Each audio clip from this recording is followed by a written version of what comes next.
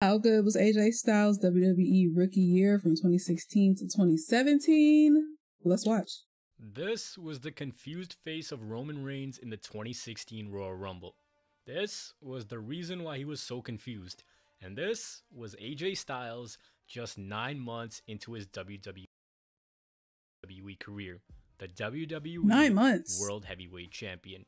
But how did we get here? AJ oh, WWE, okay, a world-renowned okay. performer. Damn, just nine months though. And from there, he competed in WCW, WWF, ROH, and various independent promotions before he became That's one of the crazy. premier faces of TNA.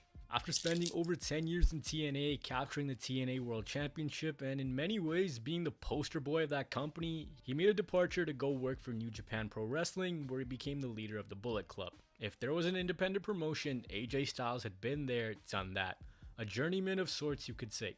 He possessed an offensive style which was very hard to replicate, his promos were concise and to the point, and he could pull off a great match with literally anyone. It was his time in New Japan where rumors started to swirl. AJ Styles was now a free agent. Many rumors suggested that WWE was going to be his landing spot, but we still didn't know. It was the 2016 Royal Rumble, and out he walked. Roman Reigns had the biggest deer in the headlights look on his face, but the crowd, they weren't no dummies. They knew exactly who this was. AJ Styles was in the WWE and he was here to stay. He had an impressive performance in the Rumble, lasting 29 minutes before being tossed out by Kevin Owens, and the next night on Raw, the run officially began. His first opponent was Chris Jericho. He was telling Styles that he had waited a long time to have him here, welcoming AJ to the big leagues. And obviously, hmm. these so called big leagues weren't really a problem for AJ Styles as he beat Chris Jericho later that night. After that, the two teamed up to take wow. on the Social Outcast before Chris Jericho got his win back and even things up at one apiece. So the rubber match would come at Fastlane, where Styles made Jericho tap out and the two showed mutual respect for one another. It was this mutual respect that led to the formation of the very short-lived team of Y2AJ. They beat the New Day and they were going to get a shot at the tag team championships, but that match they went on to lose and Jericho mm-hmm. turned on Styles by hitting him with three code breakers. So Jericho was burning shirts telling oh, Styles hell. that Jericho was the real great, and AJ he was questioning it. Was Jericho really that good? This all climaxed at a match at WrestleMania 32, where these two put on a very good match. But at the end of it, it was AJ Styles who ate the loss. And a lot of people were kind of concerned that AJ Styles isn't really where they thought he would be. You know, the typical mm-hmm. wrestling fan overreaction. But the next night after WrestleMania, that reaction died down. AJ Styles was in a fatal four-way number one contenders match with Chris Jericho, Kevin Owens, and Cesaro. And at the end of the night, it was Styles who won the right to challenge Roman Reigns at Payback for the WWE title. The build mm-hmm. was about respect, and AJ showing everyone that he was here to contend. He was here to go up against the best, and there was no one superior to him in the ring. But Gallows and Anderson were attacking Roman Reigns. And the question was, is AJ in on this? AJ told everyone that he had nothing to do with it. Reigns mm. didn't believe him and he did his normal one versus all act and this led us to payback. And the crowd, they loved AJ Styles. This was a constant during his entire first year. Every arena you went to, all you would hear were chants of AJ Styles, AJ Styles, AJ Styles. Heel, babyface, flat earther, it didn't matter. He was loved worldwide. Roman, on the other hand, so he came into WWE well, and started killing the shit. reaction he was getting after WrestleMania 32. So the crowd was electric, and so was this match. But the match came to an end when AJ Styles hit a phenomenal forearm that sent both him and Roman Reigns to the announce table. Reigns was knocked out so long that he oh couldn't get God. back into the ring, so Styles won via countout. The match was then restarted with no countouts, and the no countouts match ended with a DQ. So the match that ended with a DQ was again restarted with no DQs. It was during that third match where Gallows and Anderson were neutralized by the Usos, and as the chaos was going on, Roman Reigns pinned Styles' shoulders to the mat to retain his title. A rematch followed at Extreme Rules, and in the lead up to that show, Styles was showing a more vicious side to his character, saying mm. that he'll do anything it takes to win the title, even attacking mm. Reigns with a steel chair in the process. We come to Extreme Rules, and this match did just that. It ruled. Some of the highlights were Styles and Reigns brawling throughout the crowd, AJ getting pounced onto the announce table, another power bomb to AJ through the announce table, and of course the ending where Reigns caught a phenomenal forearm in midair into a spear to retain his WWE title. And after the match, Seth Rollins made his long-awaited return and attacked Roman Reigns. So we knew what was next for Reigns, but the question was, what was next for AJ oh Styles? Well, after Styles lost a Money in the Bank qualifying match to Kevin Owens, this question mm-hmm. was answered. John Cena returned to the WWE after five months away, and he told everyone that if the future was upon us, the future would go through him. And out mm. came AJ Styles. Told John Cena welcome back, shook his hand in respect, and out came the club. It looked like they were coming for both Cena and Styles. After all, a week beforehand, Styles told them that they should go their separate ways. So the club's coming to attack both Cena and Styles, and they're ready to fight side by side. Cena takes off his shirt all hyped up and he walks right into a right hand by AJ Styles. And the club beat up John Cena. Jumped The match was made for the upcoming Money in the Bank pay-per-view. The match was labeled a WrestleMania worthy dream match. Two worlds were gonna collide. John Cena and AJ Styles, arguably the two best that the industry had to offer. But before they collided in Las Vegas, John Cena oh, wanted sure. some answers. Why did make Styles sure do what he did? And AJ told Cena that he was an insult to him inside this ring, hinting at Cena's terrible in ring ability, saying that he would run circles around Cena, and Cena just simply called AJ a bust, saying that he was a failure. To which AJ said that as soon as you lose to John Cena, it's time to get the shovel because guys like Cena buried guys like him. The next week, mm. Cena gave AJ a choice between two contracts for their match at Money in the Bank either a singles match or John Cena versus the club, telling him that he could secure a spot as captain hey, of the bitch club. He's fitting right. He he he fitted or whatever. He fits right in with WWE so good. Or he could sign the one-on-one contract, and we could see if AJ Styles he fits right in. was truly as good as he said he was. AJ Styles told Cena that if he was here 15 years ago, Cena wouldn't have won 15 titles. He wouldn't have two Royal Rumble wins, wouldn't be on the magazine covers or in crappy movies. If you were there, AJ had something to prove. He signs the one-on-one contract. Okay. And this was truly one of the best promos these two had. Anytime these two got in the ring together, it was magic. They had an unmatched electricity in the ring, and it was just beautiful. We get some Money in the Bank, and the crowd was on AJ's side. But in this match, it was the battle of the reversals, each man having a counter for what the other did. AJ kicked out of an AA, and Cena kicked out of a Styles Clash. But the match came to an end after the ref got knocked out. Gallows and Anderson came into the ring and hit a magic killer, and Styles took the win. Mm. After winning the bank, Cena and Styles were costing each other chances to be added into the Shield triple threat match. But for Cena, there was one big problem. He was always outnumbered. So he went out and mm. found himself some backup.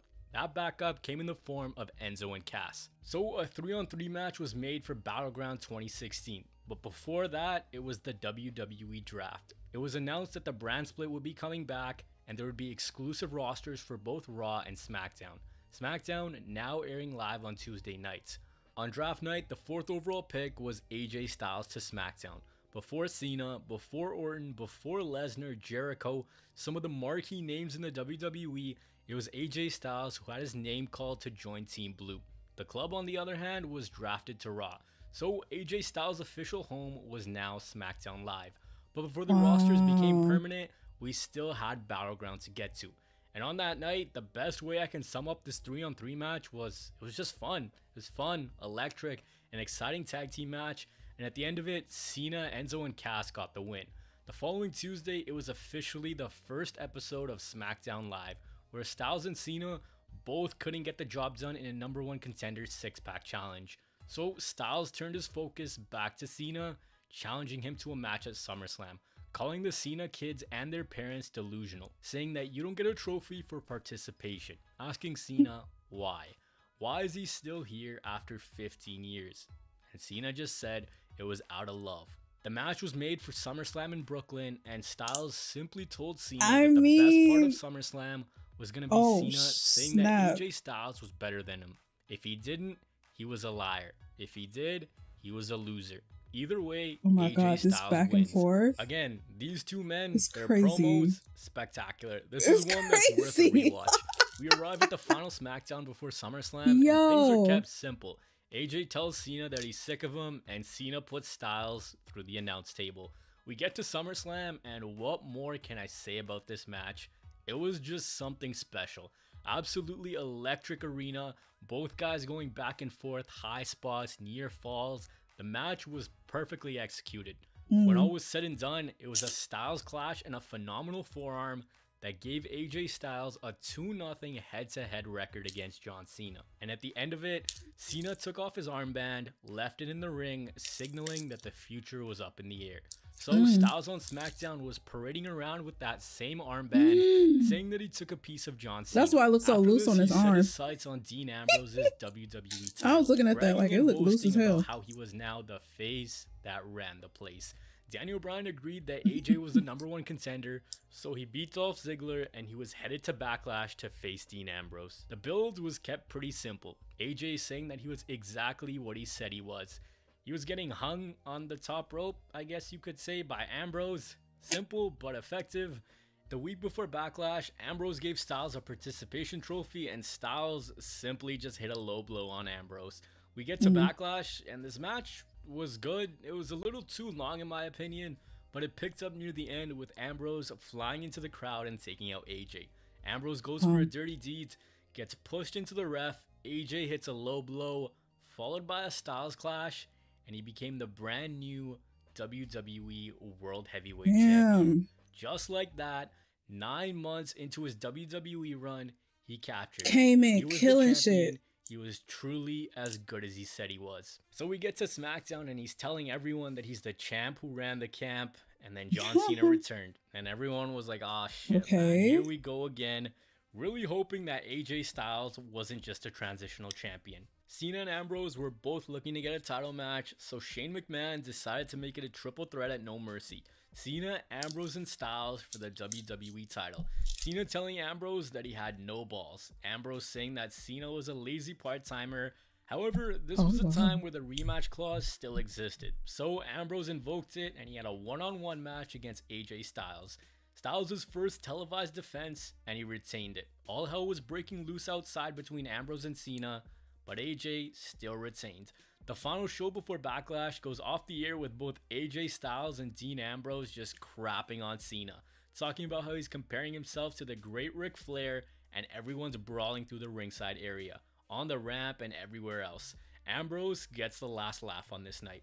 We get to No Mercy, and this is the first match that's up. All three men come out and they give us a great match. Fast paced, near falls, everything you would Mhm. expect out of these three, but it ends when both Cena and Ambrose have a submission locked in on Styles and he taps. But who won? Well, there was neither of them. The match was restarted, and after a chair shot to Cena, AJ Styles pinned John Cena one, two, Got leg back. three. Three times in under a year where Styles had pinned Cena. After this, Cena was gone, but he'll be back a little later in this video. After No Mercy came a period that divides a lot of opinion, which involved everyone's favorite Cinderella story, James Ellsworth. This He said good stuff. AJ Cinderella. was bragging about beating both Dean and Cena, and on the same night, he said he was going to wrestle someone who deserved the opportunity. And that man, according to Styles, was James Ellsworth. So Daniel Bryan made it official. Ambrose was going to be the special guest referee, and after some stupidity, antics, and a dirty deeds, lo and I don't know if behold, that hair I is on can't his believe chin I'm actually saying this. James Ellsworth beat WWE oh, champion Oh, wow. AJ Styles.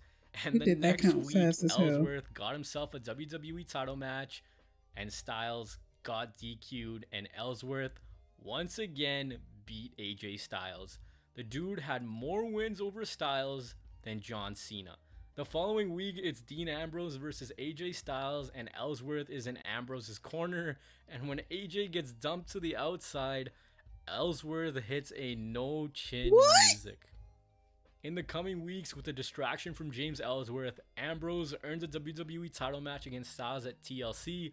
But before TLC, it was SVR SmackDown versus Raw at Survivor Series. Included on Team SmackDown were both Dean Ambrose and the champion AJ Styles. So you know the drill, SmackDown was invading Raw with their mascot James Ellsworth.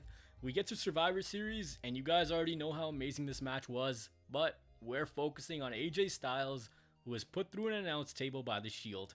Ambrose had already been eliminated, he came out to stick it to Styles, and he was pinned by Rollins and eliminated. So the show after Survivor oh, Series wow. it was James Ellsworth versus AJ Styles, and if Ellsworth won, he would get himself a SmackDown Live contract and a future WWE title shot. You know, this is the show where Ambrose just wouldn't leave the building. At the end of the night, it's a ladder match, and again, Ellsworth does it. He beats AJ Styles to officially become a contracted member of SmackDown. Next up for AJ though was TLC against Ambrose for the WWE title, and this match was so much fun. A match you don't really hear about much, but easily the best out of their trilogy in 2016. Just a beautiful car crash. Ambrose with an elbow drop off a ladder which was already set up on top of an announce table. AJ's pants ripped, but that didn't prevent him from retaining the WWE title. Ellsworth came out, screwed over Ambrose by tipping the ladder over, and Styles had it. We're now in December, one month away from AJ being around a full year in WWE, and he still had Ellsworth to give a title match to. But a new number one contender needed to be crowned because Ellsworth was apparently sick. So it was Ambrose, Ziggler, Miz, and Luke Harper in a number one contenders match with Ziggler taking the win. So it was going to be Ziggler versus Styles on the final SmackDown of 2016. But before that, Styles gave Ellsworth his title match and he beat him in less than a minute. The Styles versus Ziggler match was turned into a triple threat that included Baron Corbin, and this match, banger. Corbin had an insane performance in this match. There were high spots like both Dolph and AJ taking out Corbin on the announce table. Mm. Corbin hitting an end of days while Ziggler hit a zigzag. So many close falls. Great pacing, great match, and a great exclamation point for AJ Styles' 2016. Of course, he retained the WWE title, but earlier on this night, mm. Cena had returned and he made his intentions clear. He would face the winner of that triple threat match so it was going to be Cena and AJ Styles one more time at the Rumble. Cena okay. looking to tie Ric Flair's record, and AJ looking to go 3 0 one on one against John Cena. So we have a contract signing. Cena was calling AJ a little bitch. Styles was calling Cena a sellout. The same dude who made fun of The Rock for losing his passion now was doing the exact same mm. thing. Styles was taking exception to being called a guy from Atlanta saying that he replaced Cena, and Cena just told him that Styles, he'd been hot for six months. Cena held this place down for well over a decade. Mm-hmm. This episode marked exactly one year to the day where AJ Styles made his debut. We get to the Rumble, and you guys have all seen this match. Everyone knows how good this is. These two delivered one of the best matches we've seen in recent years. High spots, hard hitting, counter for counter, battle of strength and speed, and the perfect way to end the trilogy of one on one matches. Arguably the best in their trilogy in front of 50,000 people, and after a double AA to AJ Styles, it was John Cena winning his 16th WWE World title. And with that concluded AJ Styles' WWE Rookie Year. And what more can you say about it? It was simply phenomenal. What made AJ Styles' Rookie Year so memorable was the pacing. He comes out at the Royal Rumble a lot of people know who he is, but for the people who don't, they let the character breathe. They mm-hmm. give him mm-hmm. matches against guys like Jericho and Reigns to showcase him, and then himself and John Cena oh, wow. have an instant chemistry. The chemistry leads to a run of exceptional matches. What was really nice about the initial emergence was that Vince McMahon let him showcase his in ring talent. He gave mm-hmm. him time, he let the character develop, he gave him time to connect with the audience, and it's nice because, you know, there's always that fear that if Vince didn't create you, he will destroy you. He didn't turn him into a redneck cowboy or anything like that. He made AJ Styles a primetime player in his company, and since then, he's utilized him very well. He's been a Grand Slam champion. Came in and adapted some of the really best well. matches and stories we've seen in the company, and it really proves that when WWE let people thrive, they can succeed. What's so crazy about all this is how quick AJ Styles rose up. Like this nostalgic feeling that so many of us have for SmackDown in 2016. Take AJ out of the equation, hell, even put him into the mid card, and it's just not the same. It's not the same show we remember it as. It was AJ Styles being at the top that made it so memorable. The theme song, the look, the matches, everything was phenomenal. As for a good or bad grade, I give it a good. The Reigns matches were great, his mic battles with Cena were electric, the title reign was fun. The stuff with Ellsworth, though, I thought it was really bad, but not that bad that it weighs down the grade. But as always, I want to hear from you guys. What did you guys think of AJ Styles' WWE rookie year? Was it what you expected, or did you expect Vince to screw him over? As always, take care. Peace. Okay, guys, don't forget to reaction, leave some comments down below, and I will see y'all in the next one. Toodles.